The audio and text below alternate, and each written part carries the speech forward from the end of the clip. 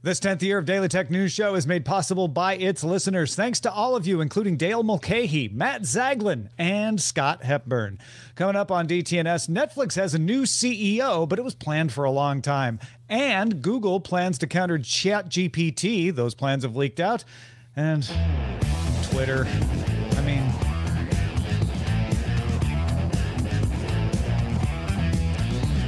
This is the Daily Tech News for Friday, January 20th, 2023 in Los Angeles. I'm Tom Merritt. And from Studio Redwood, I'm Sarah Lane. And I am Chris Ashley. Drawing the top tech stories from Cleveland, I'm Len Peralta. And I'm the show's producer, Roger Chang. You, you didn't want to give a, a geolocation. You're you're in, you're incognito. I am Chris. I am omnipresent. Chris Ashley. Uh, Chris I'm Ashley everywhere and is the location. Exactly. All right, man. Let's start with the quick hits.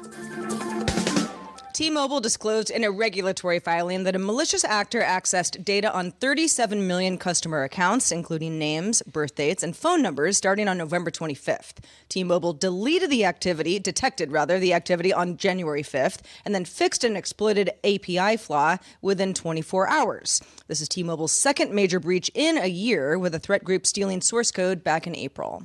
Amazon announced it will increase the price of Amazon Music Unlimited in the US and UK as of February 21st. Prices will increase by either a dollar or a pound per month, depending on where.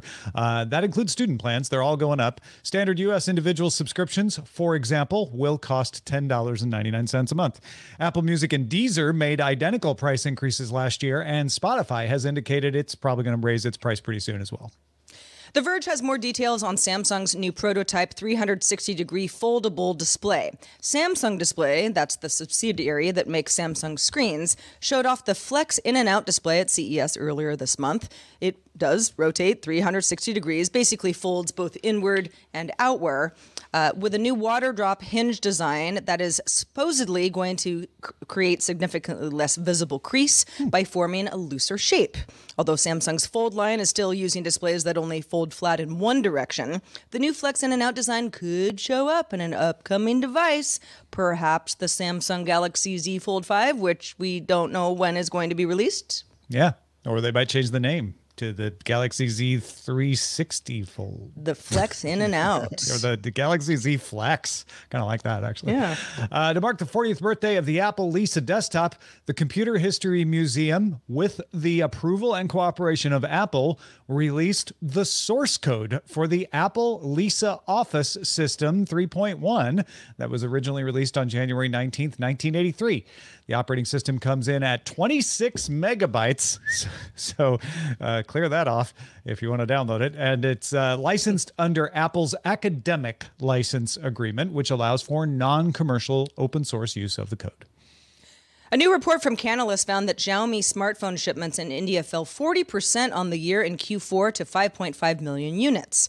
As a result, for the first time in 20 quarters, Xiaomi did not ship the most phones in that country, falling to third.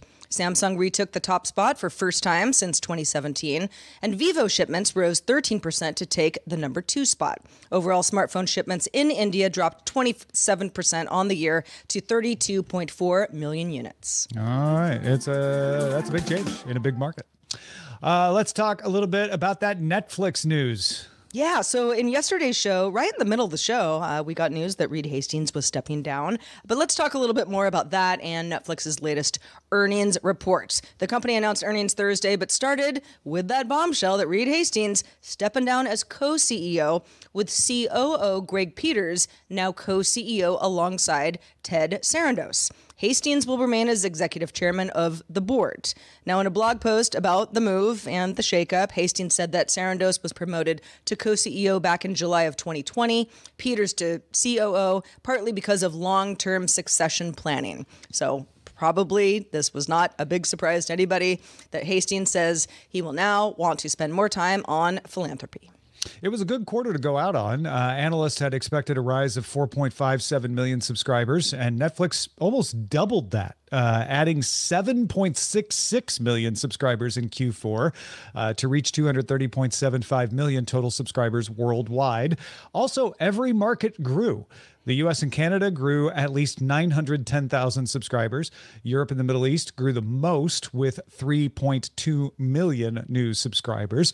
The company met analyst revenue estimates with $7.85 billion in Q4. Missed on earnings, though. Uh, a lot of that had to do with uh, some currency stuff in Europe. Netflix also thinks its ad supported tier is off to a solid start and expects that it will bring in about $3 billion in annual revenue. New co CEO Greg Peters said engagement is, quote, comparable to similar users on non advertising plans. Yeah, as far as revenue, the company also followed up on plans to add a path to paid sharing of accounts, saying that those methods will roll out more broadly later in Q1 of 2023. The terms of service for the company have always prohibited sharing the account outside of your own household. But Netflix has been increasing its methods of detection while also testing ways to pay extra to add an out of household account. The company also plans to offer a way to keep your profile data if you decide to start a new account of your own, making it easier if you were already on a shared account to begin with. So, Chris, of all this news, what part of the Netflix news surprises you the most? You know, while uh, uh much of this is uh, very interesting, the the user addition is kind of super surprising because you know Netflix has been around for a while, so to see them breaking records, even though I think there was a point where they lost some subscribers, but to see them adding so many, it makes you wonder. You know, Hulu just recently raised their prices. Uh, uh, Disney just announced that they're raising their prices. So I wonder if they're peeling off folks that are like, I've had it with those, you know, these some of these other services. I'll just go back to Netflix. I was surprised by the numbers too, Chris, because there's for for many quarters it's sort of like oh, Netflix, you know, growth is slowing. The people who want Netflix already have it. Certainly, the U.S. and Canada was a was a market that ha- had slowed quite a bit. Yeah, and even lost subscribers at times. I, I I don't totally know if if it just means that the competition has gotten more expensive and people are whittling down what they decide to pay for. Um, but but you would assume that you would probably already be a Netflix subscriber and drop something rather than become a Netflix subscriber out of nowhere, uh, given all the choices that you have. I agree. I wonder how many of these are returning subscribers. I wish wish they would give us that report. Mm, I, I imagine it's not the majority, but it, I wonder how much of this chunk is subscri- a subscriber who said, "I'm tired of the price increase.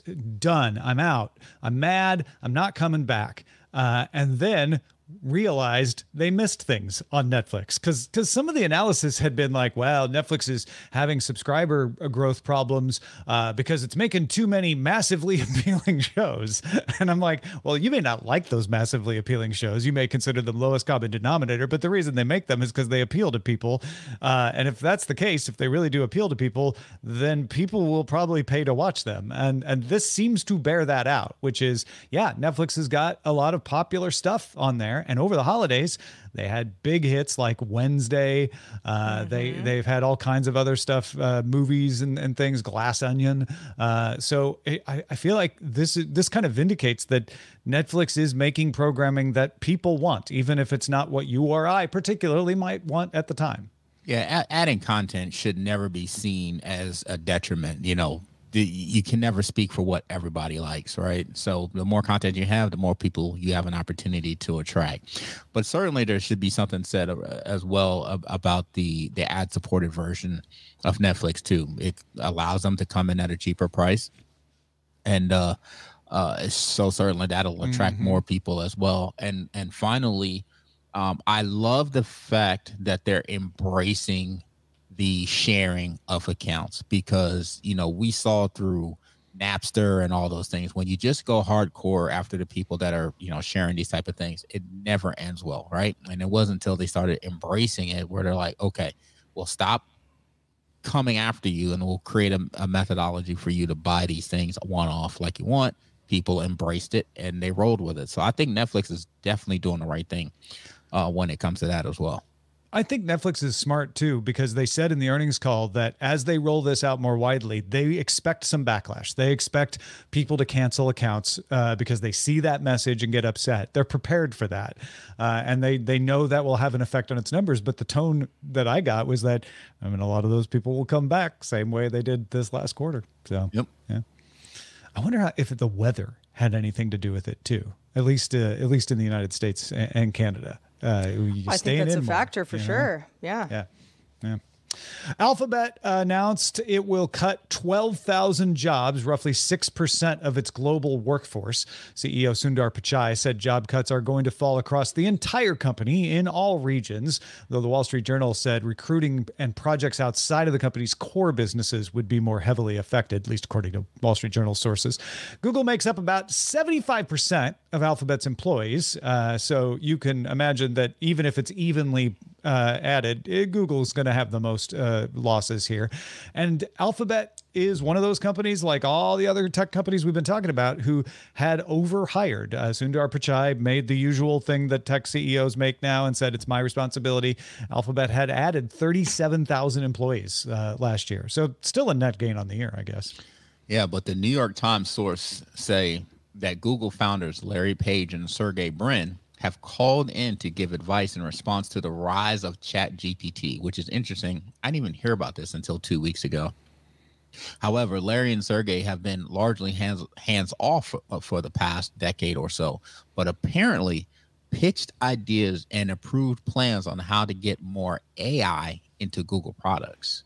Yeah, and something that might, uh, you know, offer a little bit of a, a, a, slice into what that might be is a slide presentation indicating that Google has plans to show off a search engine with chatbot features sometime this year. Also planning to introduce more than 20 projects somehow related to AI at Google I/O, which happens in May.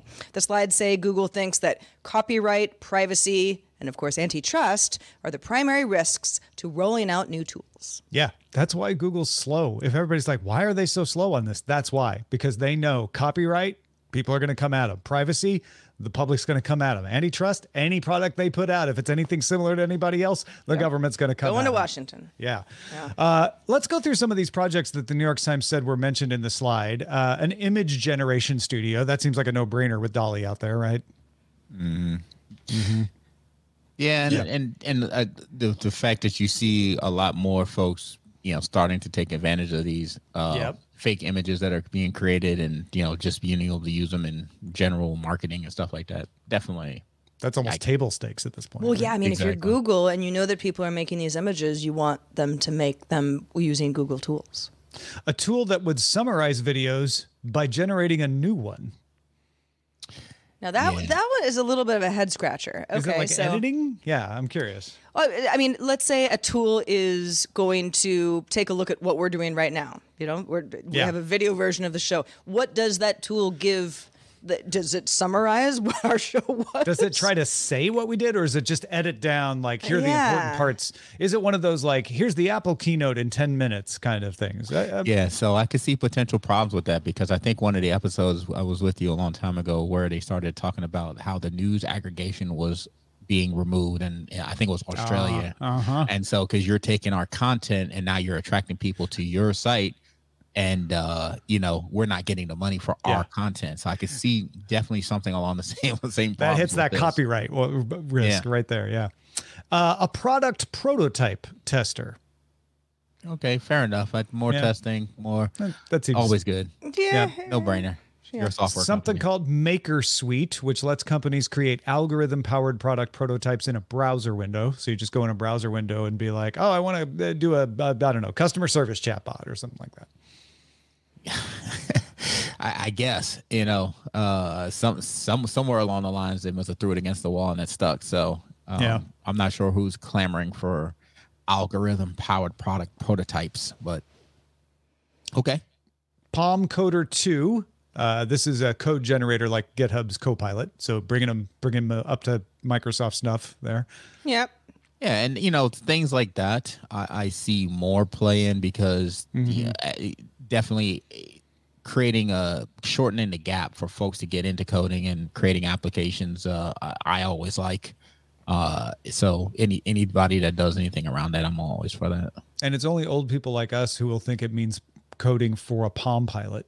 So the name's probably not, not. I mean, I would be like, "Excuse you, Tom. Who are you calling old?" But that's exactly what I thought at first. I was like, "Tom." Uh, Collab Plus, C or Colab, I guess, not Collab, C O L A B Plus, uh, Android Studio. Collab Plus Android Studio for building smartphone apps. I like the idea of this one. The ability to be like, I just needed to do this, and it's like, here, here's your Android app.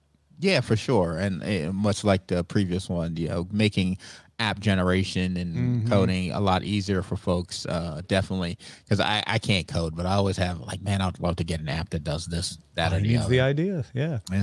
It's uh yeah, talk about no code. It's it's it's like negative code.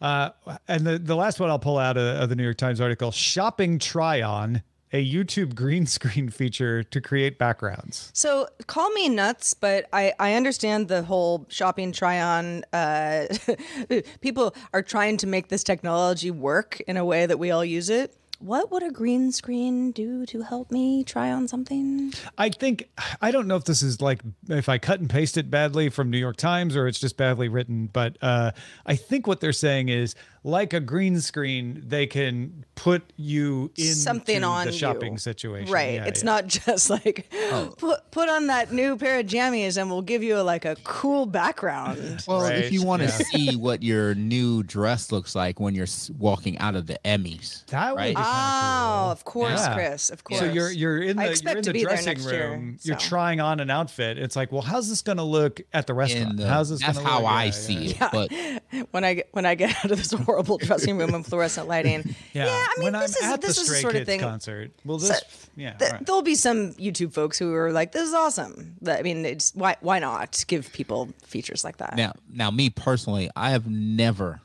ever used the, you know, the feature in any application or buying store where it's like, oh, let's see what this looks like on you. I find that to be Mm. stupid, um, especially with shoes because you know I gotta walk in them. Yeah, I, I, don't care what they look like on my feet. There was feet. a shoe one in here too. I didn't put it in our notes, but yeah. and yeah. it was like, okay, yeah, I know what the shoes are probably gonna look like on my feet, but that's not my major concern. My major concern is, oh, my bunion's gonna hurt every time I take a step. That's what I need to know. That's GPT five. They'll be able to tell you that. Yeah. Uh, I don't know. They, they, these all seem fine. None of none of them struck me as as ridiculous or anything. I, I think the bigger deal is that Google is big and slow now, and the fact that this slide said copyright, privacy, and antitrust are our primary risks. I mean, OpenAI has to deal with copyright, privacy, and antitrust, but they're not like Google where they're going to know immediately as soon as they put anything out. One or more of these are going to be a problem for everything they do, and that that's why what takes them longer to do. Well, those are their primary risks. I would say any fool that takes on any of these things is your primary risk is that it won't be around Mm-hmm. long enough for you to enjoy it. Yeah. Yeah. I uh, the one they put in search, the one they put in Google search, that one I feel confident will stick. Any of the rest of them, I don't know if I'd build your entire business on. Yeah, good luck with that. Yeah. Uh, folks, if you disagree, if you're like, no, no, you can trust him, here's why, uh, email us uh, or email us about whatever is on your mind. Feedback at dailytechnewsshow.com.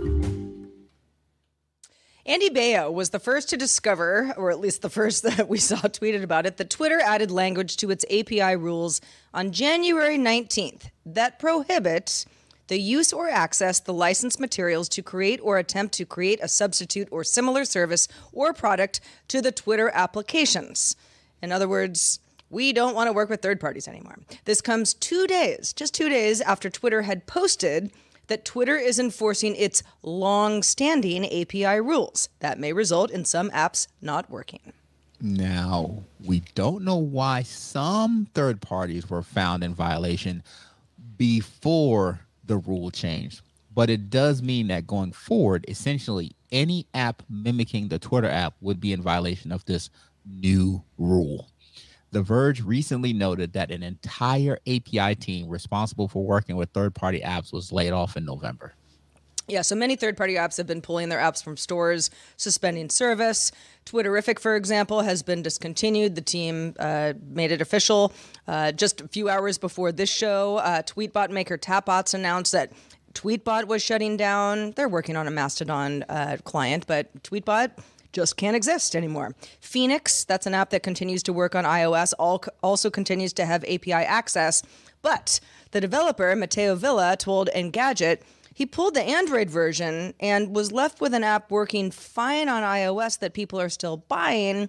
But Villa said, I'm wondering if I should pull it too. A lot of people wondering a lot of things at this point. So I don't know, Tom, what do you think is going on here?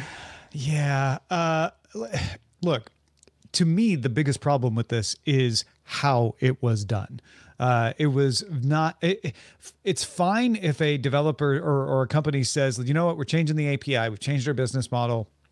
Uh, we don't even owe you an explanation, but it's it's just I don't know. It's good relations to say uh, we will be cutting off your access at this point. We understand you built a business on this platform, so we're giving you a grace period, mm-hmm. uh, rather than just one day say, oh, you're in violation and we're not going to tell you why. Or in fact, we're not even going to talk to you. We're going to cut off your access and then a few days later tweet about it, uh, essentially subtweeting you. And then two days after that, we're going to change the terms so that you can't even do what you're doing. Just the way this was handled is what bothers me, uh, not the fact that they did it so much.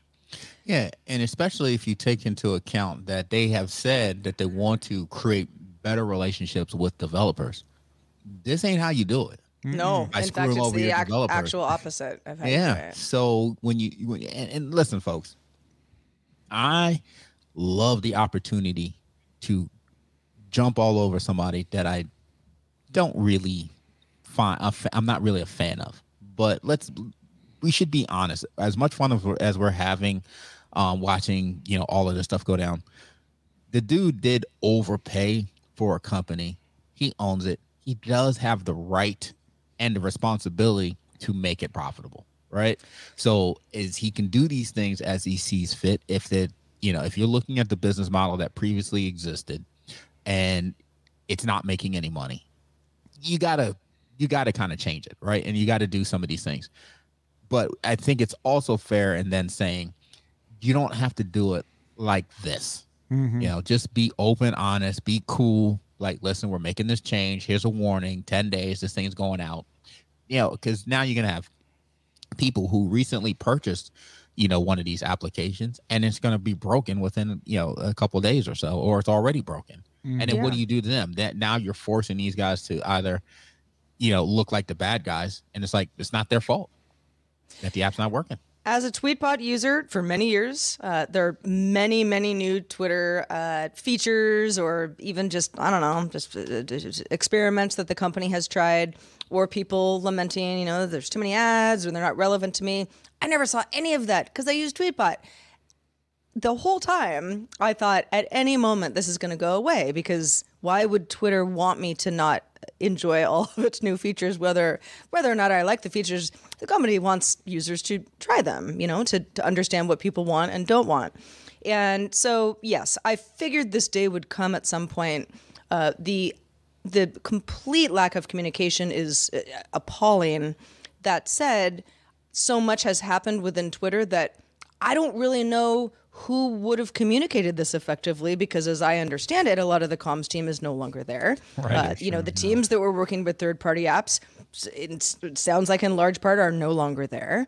And uh, you know the folks who are running the business and trying to make a quick buck uh, you know, i don't know that they really care about the develop, developer community. The developer yeah. community is a, a, big one. And I'm not, I wouldn't consider myself part of that community. I'm certainly part of the community that enjoys the developer community because I like to have options. So, you know, you teed off, you, you ticked off a lot of folks. I just, I just don't know how you bungle it worse and in the end, uh, I don't think this is going to reduce Twitter usage. Uh, it will probably, as Chris pointed out, increase revenue uh, because more people will have to use the first party uh, content, which has the ads.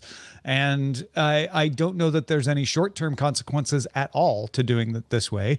Uh, and I'm not even convinced that there'll be a ton of long term consequences, but there will be developers who won't do something that Twitter asks, uh, opens up to do in the future because they've been burned by this. Because, or, or even if they haven't been burned, they've seen others get burned and be, it, it won't even necessarily be an emotional thing. It'll be like, well, but do I want to do it on that platform? Because it might not stick around. It's like the Google stuff we were talking about earlier. Like, yeah man, it sounds like a good idea, but I don't know. I get a queasy feeling, and that's not something you're going to be able to measure, uh, and and it, you, it's you can't prove a negative. So, uh, I you know I'm not saying like this is going to blow up in anybody's face, but yeah. it, that's the only consequence I can think of. Well, we should be clear though on one aspect. I think you're right on that, but in the end.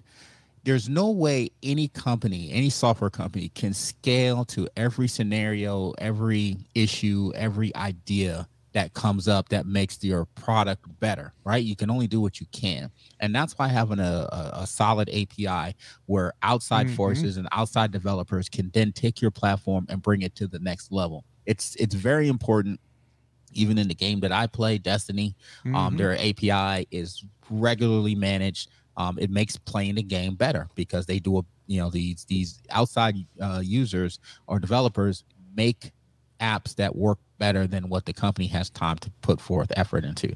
And same thing with Twitter. You know, there's no doubt that a lot of the Twitter um, third party uh, Twitter applications were way better than what uh, Twitter was delivering themselves. And if those, uh, it'll be easy to show they're gone, but it will be hard to show what could have arisen later. Yeah. Uh, you know, and a lot of people have been pointing out like Tweetie was the the app that became the Twitter app when they acquired it.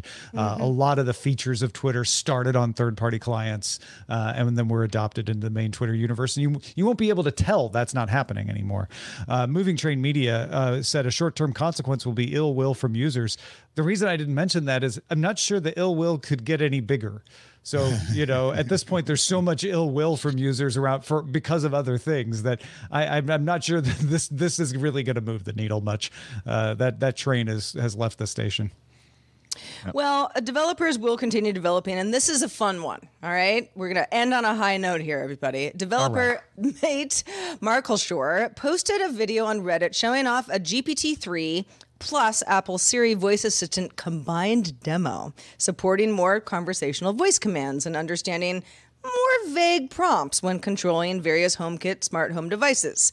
For example, Marschalko's voice prompt just noticed that I'm recording this video in the dark in the office. Can you do something about that? Gets the lights turned on. Marshall, uh, also asked for a temperature that would help me sleep better, but didn't say specifically what temperature to leave it at. So instead of choosing a specific number, uh, the uh, the AI responded by setting his bedroom thermostat to 19 degrees Celsius. Now you might say, "What? How? How? How? How do you do it?" In a blog post, Marshall explains that he's using Apple's Shortcuts app to interface between Siri, GPT-3 and then HomeKit enabled devices that he has in his house. So a voice command goes to Siri. That causes shortcuts to send a prompt to GPT 3 requesting a machine readable response. Then Shortcuts gets that back, parses it to control smart home devices, and then if you need a response using Siri, then you get one. Marschalko says that each command costs about $0.014 per API request sent to GPT-3. So occasional use, not going to break the bank. But if you were to scale something like this, could be a little challenging. So 1.4 cents, basically. Eh, it's not nothing. But yeah, in a in a regular household, that that's not bad. I don't know. I love this. This is this is this is what open platforms allow to happen that you wouldn't have known were going to happen before, right? I, I think this is a great example of that. I, I love anything home automation. I have pretty much every switch in my house me too. Has has uh, something on it. You know, lights. You know, I love talking to Siri when I come home. Um, doorbell, alarm, everything. You know, even the fact that you know just starting my truck from my phone and never picking up my key. Uh, all these things are awesome. So when I see something like this that's next level, it gets you gets me re-excited about what you can do around home automation. So yeah, yeah. really, really, really cool stuff here. Um, you know, I, I just don't want to somebody to walk in and see me having a conversation with Siri around my lights and my house temperature. That could be. I don't know. you I think it's going to happen up. soon enough. yeah. For anybody think who's it's like, too dark, Siri? for anybody who's like, is this really all that different than just you know the prompts that I'm used to using? It is, and, and we'll have the video, a link to the video in our show notes. It's really worth uh, watching. I mean, there's not a ton to see, but you know, it is a video of how conversational this actually is. Yeah. He really is just kind of chatting with the robot. Yeah, if you've gone through with Echo or Home or Siri or anybody that like having to ask something four times because you're like, I know you can do it, I just need to phrase it right. This this feels like Nirvana watching this video where he's Yeah. just like saying stuff. It's, Mm-hmm. it's, it's amazing. I mean, just yesterday I was trying to get Siri to play a song for me, and I had my daughter was laughing at me because I had to figure out how to word it so she could pick up what I was saying. Um, so yeah, something like this, you know, would be really dope. All right, uh, let's check in with Len Peralta, who has been illustrating today's show. Len, did you resist the siren call of drawing Twitter again or not? Oh, it just pulled me in. Tom. Eh, I'm sorry. What are you gonna do? Yeah. Um, yeah, you know, I try not to be too editorial. I mean, I, I kind of jump into that editorial uh, vein every once in a while. I think this for 2023 is probably going to be my most editorial version. This is called the Big Blue Crackdown, which is oh wow. uh, you just have to see it. Uh, I don't want to say too He's much. Just I- like know, Prince I- Harry at Halloween. My goodness. exactly. Uh, you got to check it out. Uh, it's basically the Twitter bird sitting on top of three bot, uh, three uh, Twitter apps, third-party apps that have even been old around longer. That's the crazy thing. They've some been long around longer than the actual Twitter app itself. So, uh, if you want to see the big blue crackdown and Twitter cracking down on third-party apps. You can go to uh, my Patreon, patreon.com forward slash Len. Uh, that is, you get it free if you just back me at the Patreon level or at the uh, DTNS level. Or you can just go the old fashioned route and go to my online store, which is lenperaltastore.com. It's right there on the front page. And uh, I'm also taking commissions too. So uh, think about that as you uh, as we go into the Valentine area there. The basically. way you got the Little disdain, Valentine Commission, not a bad idea. brilliant, Len, brilliant. Thank you, Len. As always, brilliant work. Chris Ashley, also brilliant work from you. Let folks know what else you're up to. you can always check out me and the homies on SMR Podcast. Check us out on smrpodcast.com. And of course, the next season of Barbecue and Tech is on the way, folks. We're about to do it up again, wrapping up our Christmas smoking and then getting into uh, uh, some Super Bowl stuff and planning for Oh, our Super Bowl yeah. feast. So, yeah, right around the corner. So, coming soon, folks. Coming soon. Well, glad to have you both on the show today. Also, glad to thank a brand new boss. In fact, it's a family trust. The Bain Family Trust just started backing us on Patreon. Thank you, Bain family. We trust you're happy. yes, we're glad you put your trust in us. Lit- literally. Quite literally. Uh, speaking of patrons, do stick around for our extended show, Good Day Internet. We'll talk about all the things. You can also check out the show Monday through Friday at 4 p.m. Eastern, 2100 UTC. We do it live. Did you know? Find out more at dailytechnewsshow.com slash live. Back on Monday with Lamar Wilson joining us. Have a great weekend, everyone.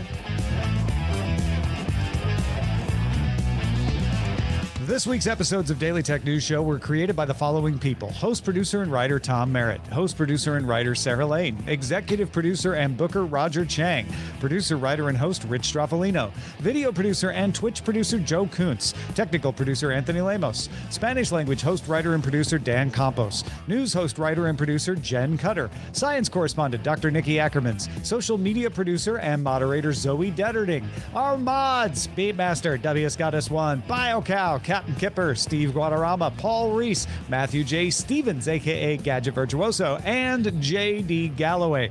Mod and video hosting by Dan Christensen. Music and art provided by Martin Bell, Dan Luders, Mustafa A, Acast, and Len Peralta. Live art performed by Len Peralta. Acast ad support from Tatiana Matias. Patreon support from Dylan Harari. Contributors for this week's show included Nika Monford, Scott Johnson, Justin Robert Young, and Chris Ashley. And thanks to all the patrons who make the show possible.